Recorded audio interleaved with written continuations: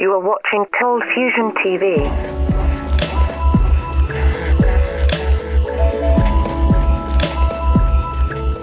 Hi, welcome to another Cold Fusion video. Looking through all of history, it would seem that the mobile phone has caused the most rapid changes in daily life ever seen. Phones have altered our expectations of what's possible and even our mental process. Now we expect to have all things with us at all times in our pockets. The entire world is at our fingertips, instantly. We even tend to perceive time in such a way where a few seconds is an eternity. If a phone takes more than a few seconds to boot up and snap the perfect shot, that's just not good enough. We are able to read, watch, listen to, consume, and sometimes even create from anywhere at any time. What I've just described is the smartphone revolution, and it's only a decade old. Before the smartphone in the 2000s and 90s, phones were a lot less than this. They just made phone calls, had a basic organizer, and in latter years, a modest camera and very basic internet if you were lucky. But go back into the 1980s, and mobile phones just did one thing make phone calls. But the question is what was the first one of these primitive phones that just made phone calls? What was the original phone that would become the grandfather to all the billions of phones in our pockets? Where did it come from? Who invented it? And what's the story behind it? In this video, we'll take a look. This video is brought to you by Squarespace, one of the easiest ways to make a website. I'm building a Cold Fusion website now, and if you have a suggestion for what you would like to see on the website, let me know below. If you want to make your own website, go to squarespace.com slash coldfusion to get 10% off your first purchase. To start the story of the first mobile phone, we have to go back to the 1960s. Technically, at this time, mobile phones did exist, but only in cars, and if you had one, you were the boss of the town, a real high flyer. As it turns out, since the 1940s, car phones had enjoyed limited use in large cities of the United States. Putting a phone in a vehicle was the only way to make them mobile. This is because the phones took so much power to run that only car batteries could supply it. Another drawback was that for a given area, only 12 channels existed, so most of the time you'd have to wait to use a network. Just to connect to a call could take 30 minutes. That's just the way it was, and the way it always will be. Until 1968, that is. In this year, the Federal Communications Commission asked AT&T to fix this issue. AT&T then came up with a cellular architecture. Its aim was to break up the large areas of coverage into smaller ones so that multiple people could use their phones in their cars at the same time. Regular mobile systems use a central high power transmitter to serve an entire city.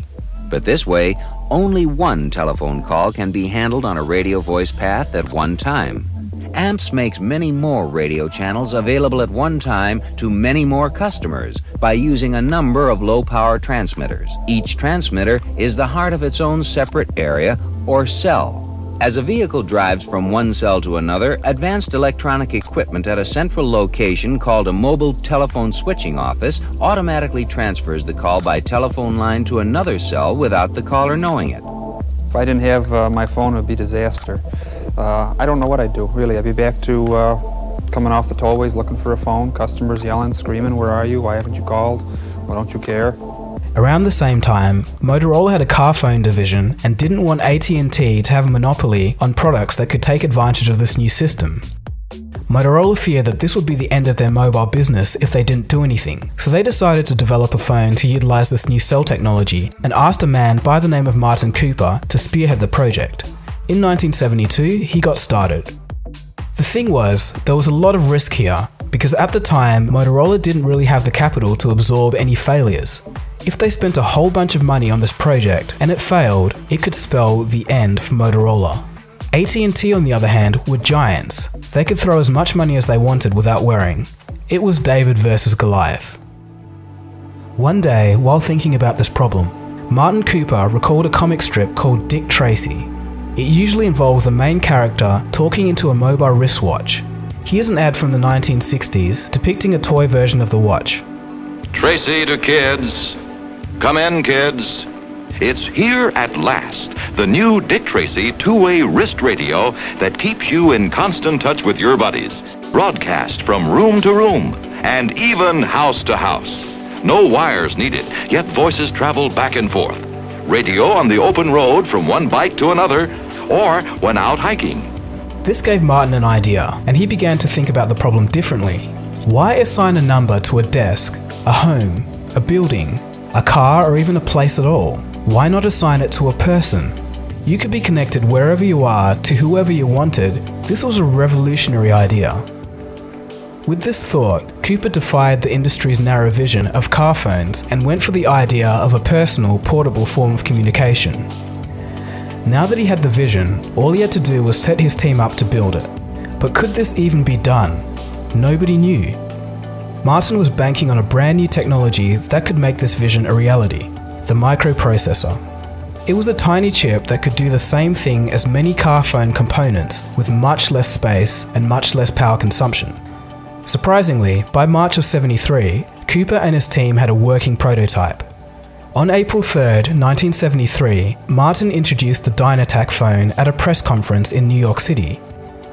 To make sure that his phone actually worked before the press conference, he decided to place the very first public cell phone call he decided to call an engineer called Joel Engel. He was the head of AT&T's rival project. So Martin simply called Joel just to tell them that he had beaten them to the mobile phone. In that first call, we didn't know it was going to be historic in any way at all. We were only worried about one thing. Is the phone going to work when we turn it on? Fortunately, it did. In 1983, after years of development, Motorola introduced the first portable cell phone to consumers. It was the Dynatac 8000X. It almost weighed 1 kilogram and was absolutely huge because it needed so much battery to power it. Despite all of that battery, a full charge took roughly 10 hours and it offered only 30 minutes of talk time. And to top it all off, its price was almost $10,000 adjusted for inflation. So when you hear all of that, you're probably thinking that this mobile phone product was a failure. Well actually, far from it. As it turns out, the value of talking anywhere at any time made the cost worth it, and the phone eventually became a success, kicking off the mobile phone revolution. When Martin made the first mobile phone call back in 1973, there was only one real cell phone. Now, there are more mobile phones than people. So what's Martin up to today? At age 88, he sits on committees supporting the Federal Communications Commission and the United States Department of Commerce. So that's the story of who invented the very first mobile phone.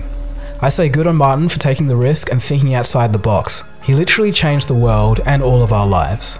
Anyway, that was just a quick little piece of history. Thanks for watching. Feel free to subscribe if you just stumbled across this channel. This has been Dagogo, you've been watching Cold Fusion, and I'll catch you again soon for the next video. Cheers guys, have a good one. Cold Fusion. It's new thinking.